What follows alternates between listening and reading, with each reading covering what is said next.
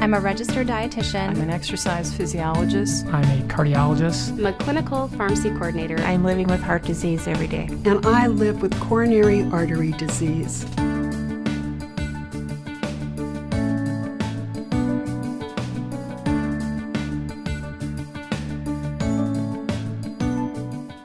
Atrial fibrillation is uh, an abnormal rhythm of the heart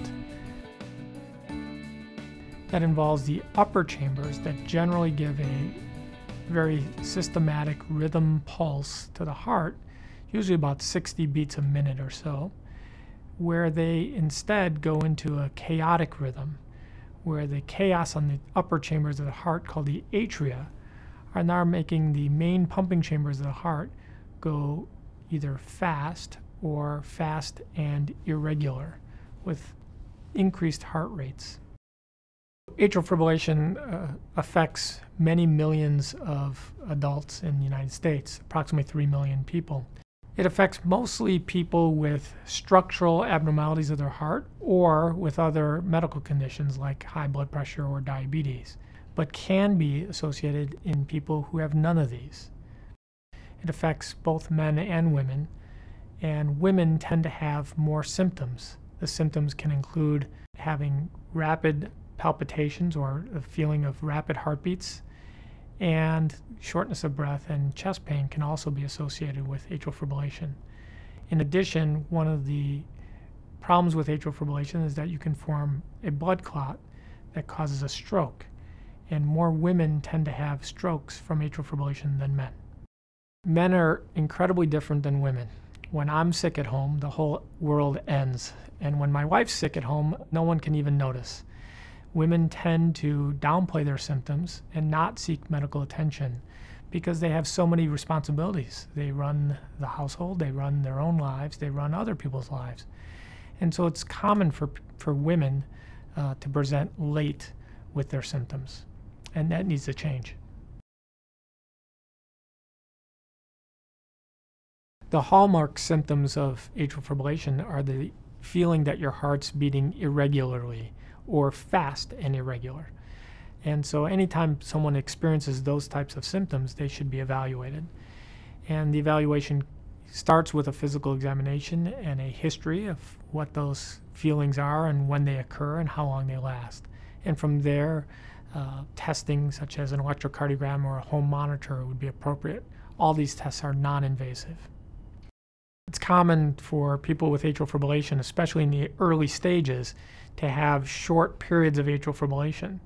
And therefore, when you show up to the doctor, you don't have a diagnosis. It's, it needs to be caught during the episode. Atrial fibrillation is uh, treated in two main categories. One is controlling the speed in which the heart goes, and that can be done with medications and sometimes a pacemaker.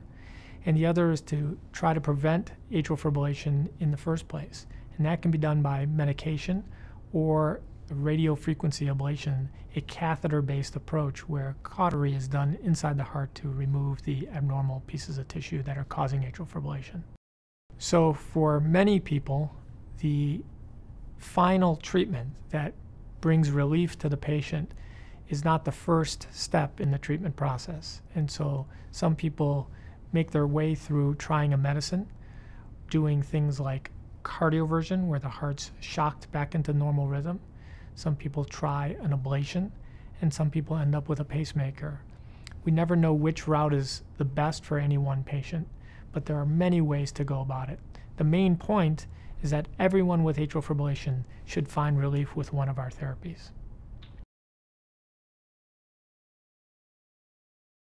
Uh, one example of atrial fibrillation is a patient who is in her 40s who felt rapid and irregular heartbeats. And this had occurred on several different occasions, and they only lasted for just a few minutes at a time. When she saw her physician, the heart rhythm was always fine and in normal rhythm at that time. But on one occasion, she had a prolonged episode where when she finally came into the physician, she was still having the symptoms, and that was captured on an electrocardiogram as atrial fibrillation. Other ways to try to capture that would be to have a home monitor, monitor that you wear all the time, and that can capture atrial fibrillation. That patient was successfully treated with something called radio frequency ablation, where a catheter is threaded within the heart, and in a very, very non invasive way, the um, problem areas of the heart causing atrial fibrillation are cauterized and that removes the rhythm. So, another patient who is in her 80s presented with a stroke, and at that time she was found to be in atrial fibrillation.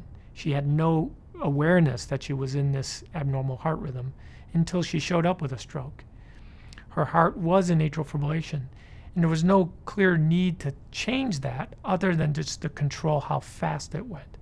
So she was treated with medicines at first and eventually needed a pacemaker. And with this treatment, felt fine and normal and, and went along with a normal life. My name is Bill Katsiyiannis. I'm a cardiologist.